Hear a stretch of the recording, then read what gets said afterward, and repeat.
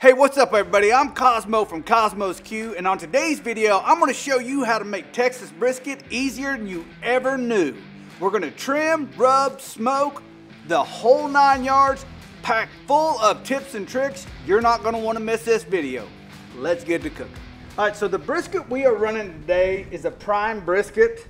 Um, actually got this at a really good price, $3.49 a pound.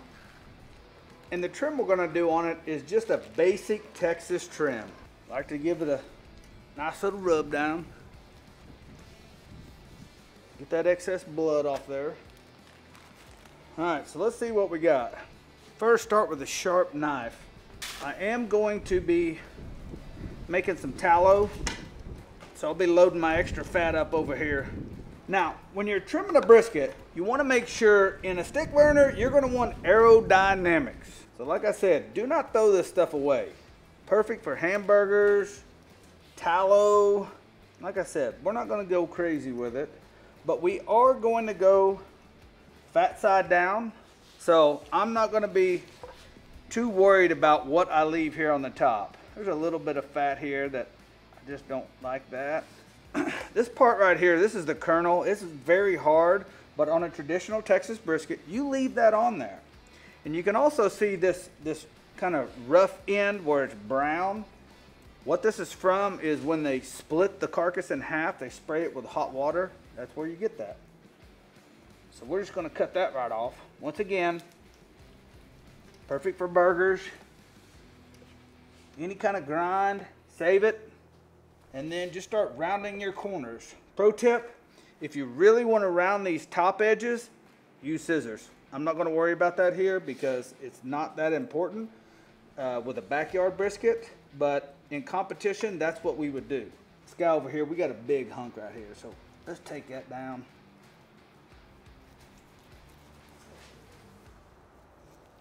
This side looks pretty good. A little bit extra up here for me, but now the fun side. As you can see, they scalded the bottom off of this one. So let's just trim it up. Now this fat right here, it's just very rubbery. So I'm gonna take all that off. Boy, they got this one good too. But they did do a good job right through here. It's pretty much a quarter inch all the way across. But let me show you this side. As you can tell right there, I don't like that piece either. Let's just go ahead and take that off. Expose that a little bit more. More burger grind.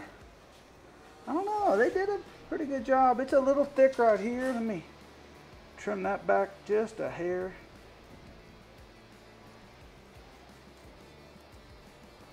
I try not to scalp it, uh, but sometimes it's inevitable.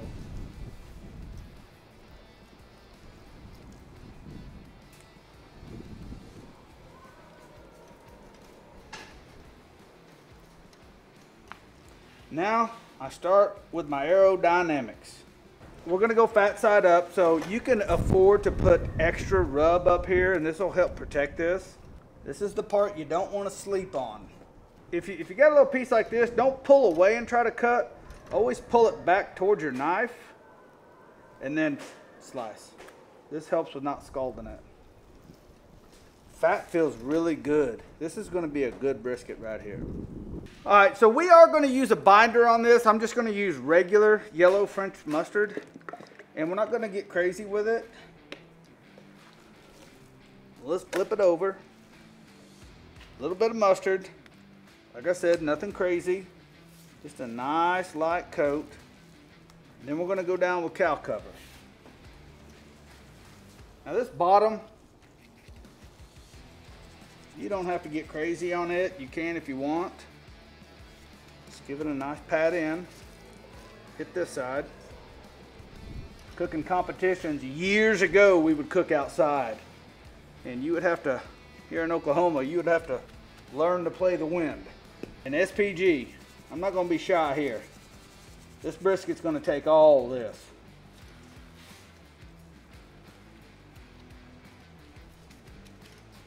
All right, she looks good there. Now, let's flip her over and do it. One more time.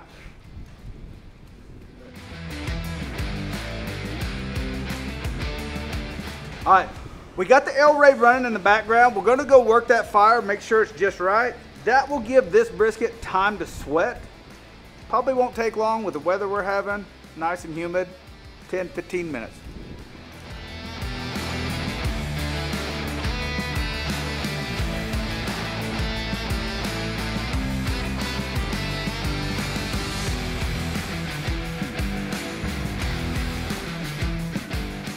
All right, so we have our L-Ray running just a tad bit over 300 degrees. The reason why, first of all, we want to heat up the pit. We want to make sure we have an even, consistent temperature from front to back. The other reason is, is when you put your brisket on a little bit hotter at 300, 300 plus, usually around 350 for competition, it will plumpen it up.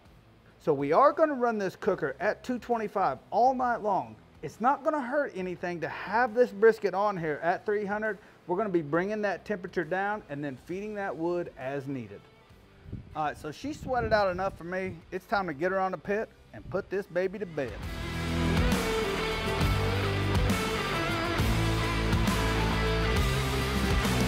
All right, so you're probably wondering why I use this big pan for not a lot of fat. There's a reason, and here it is. I got my brisket right here. The heat is coming this way. I'm gonna position this right there. Make sure you do not touch the probe. This is gonna act as a block or a shield for the brisket, kind of let the air travel over it. All right, so we got our brisket on the El-Ray. We are running Chigger Creek pecan on here. The thing I love about these is they come in a box already cut to length, about the, about the size of your forearm. They're nice, they're small. Rarely do they have bark, these light quick. And the great thing about them is, is these are hardwood the center of the log. So this thing is crazy efficient. I'm talking a log every 45 minutes to hour and a half, depending on the weather outside, how hard it's blowing, how cold it is, how hot it is. But the El-Ray, hey, rest assured, she's gonna run like a champ. I'll see you in the morning.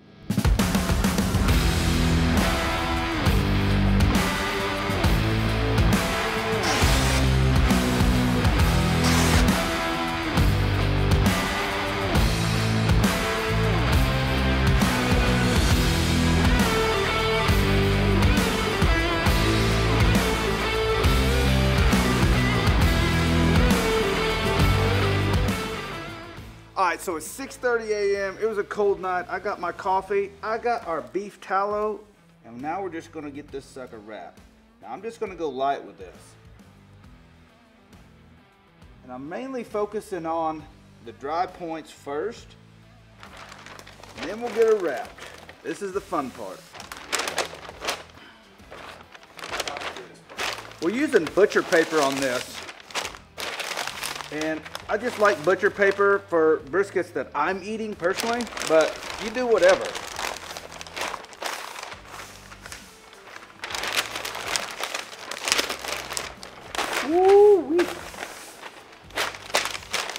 Shout out to the 24 inch wide Kosmos butcher paper. This makes wrapping way easier than the 18 inch. Flip it once now, it's upside down. Make sure you get it tight. And then we're going to flip it again.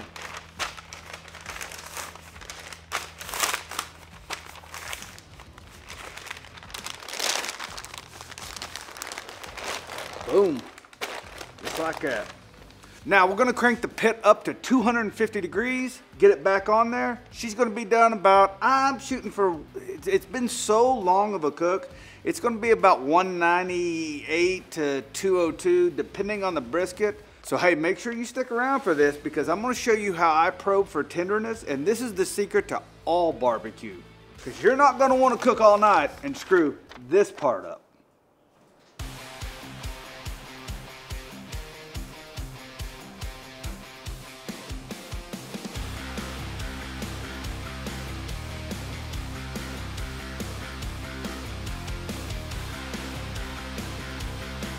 Got to understand that it, it can hold onto the paper. You don't want to do that. So you just want to make sure that like how much pull do you got there. That feels really good. I'm going to call it. That one's done. Woo! She smells beautiful.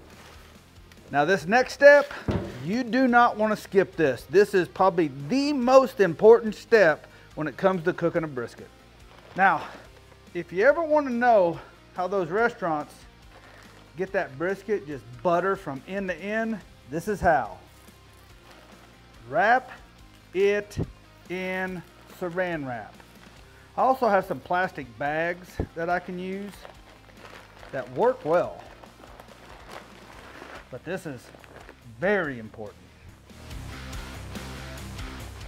Wrap it one more time the other way. Now we let it rest. So while we were waiting for this brisket to finish, we went on ahead, finished our beef tallow, pulled it off, let it cool down a little bit, strain it, put it in a mason jar, bam, homemade beef tallow. Didn't cost you a penny outside of the brisket, but you know, you're eating it anyways. Normally this stuff goes in the trash, but look at that.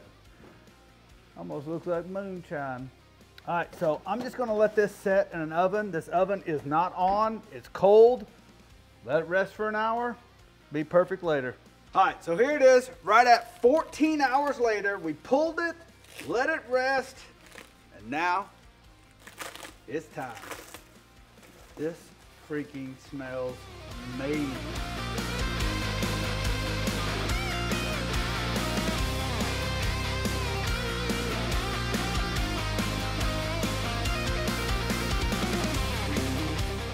I gotta tell you, this brisket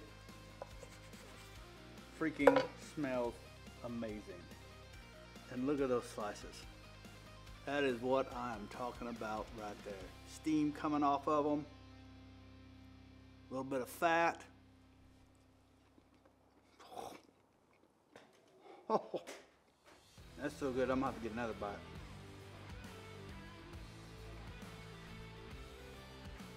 So hey, I want to thank everybody for watching. I promise you, you need to make this brisket. Head on over to Kosmos Q, print the recipe off, make it for you and your people, and I'll catch you in the next video.